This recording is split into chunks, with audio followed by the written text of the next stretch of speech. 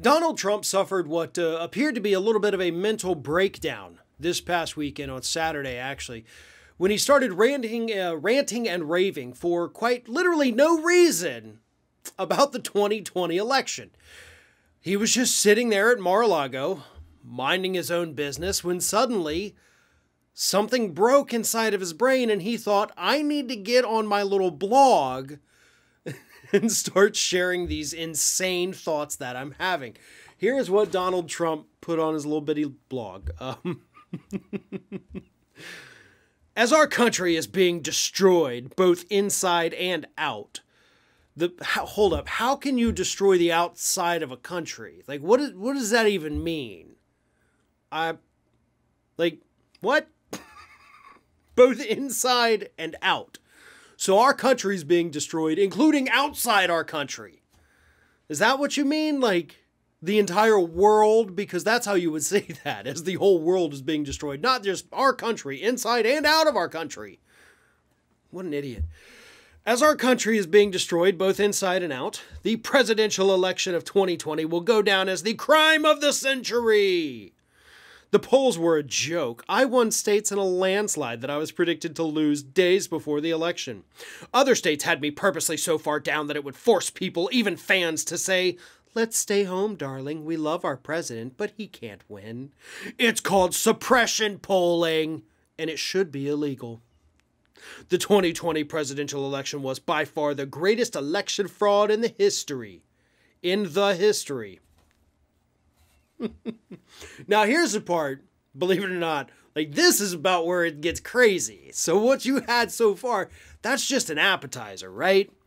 Now he's going to go after his good buddies, the people who basically made his presidency uh, tolerable for most Republicans. Here they are. Had Mike Pence had the courage to send the Electoral College vote back to the states for recertification, and had Mitch McConnell fought for us instead of being the weak and pathetic leader he is, we would right now have a Republican president who would be vetoing the horrific socialistic bills that are rapidly going through Congress, including open borders, high taxes, massive regulations, and so much else. Okay. Um, you're nutty. I mean, and that's yeah, that's about the nicest way I can put that. There's something wrong with the former president of the United States.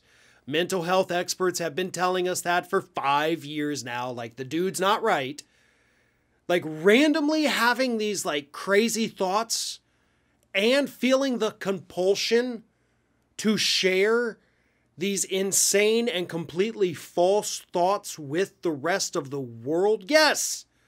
Folks, that is an indicator that something's not right with this man. But nevertheless, it is what it is. He, he went on this little, you know, crazed rant. At one point over the weekend as well, he said that the databases over in Arizona where they're trying to, you know, audit the ballots, he said the databases had been deleted. That didn't happen. The man lost his damn mind, what little bit he had left of it this past weekend. And I don't even know what sparked it. Usually there's something that happens that sends this man on edge. But I can't think of anything that I saw in the news that happened here. Except, of course, maybe something happened behind the scenes that we don't yet know about with that New York investigation. That is literally the only conclusion I can come to that this guy probably got some really bad news got pissed off at everyone and everything, and then decided to take it out on Mike Pence and Mitch McConnell and apparently the rest of the planet, anybody outside the United States as well.